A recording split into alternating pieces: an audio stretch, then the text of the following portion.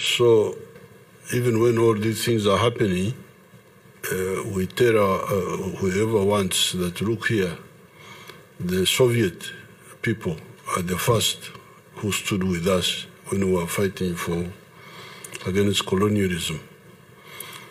Yadde nga ate mwattu lyo eggwanga ery'amerika lyali lyagaana omukulu ono geno museveni era nga lyamulabula okwetantala okugenda mu ggwanga erya russia. Kyaddaki ye museveni olunaku olw'eggulo ng'asisinkana putini yamwegayiridde okuba nga ate russia emuyambako mu ngeri y'okusimamu amafuta esobole okuba nga ate mwattu uganda ebaako kyegajjamu n'ensi ezigenda okuba nga zigikwatirirako.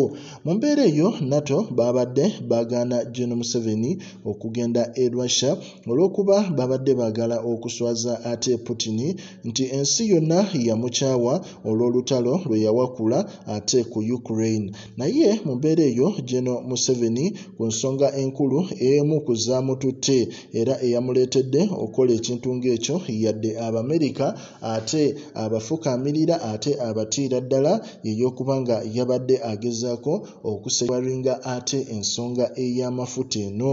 Era nga mu sipiiki ye olunaku olw'eggulo jena museveni gye yasinze otunuulira ennyo.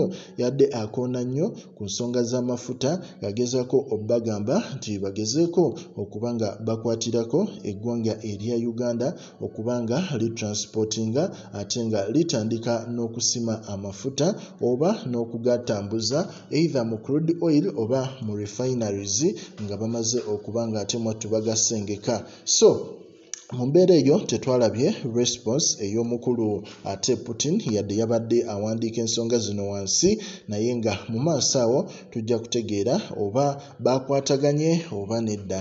Naye nga tebayinza butakwatagana kubanga ate yalagidde eddala saidi omukulu ti bwabulwa nti amerika terina kyemugamba wabula ye ensonga ze zakwatagana na russia. Olw'ensonga nti russia yeyina resistance ku nsi eziri mu mawanga amagatte oba gayite aga nato. So tibwabulwa ye yagenze mu maaso ne yeegayirira abarussia bano ate mwattu bakkirize propozo ye ey'okusima amafuta. Progen media yadde nga ate abamerika baali bamugaana nsonga za mawulire